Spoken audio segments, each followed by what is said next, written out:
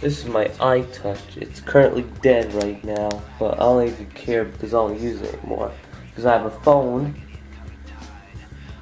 This bin over here, as you guys can see, it's where I have uh, my Game Boy games and uh, no, and I have a DS game in there. Super Mario 3D Land.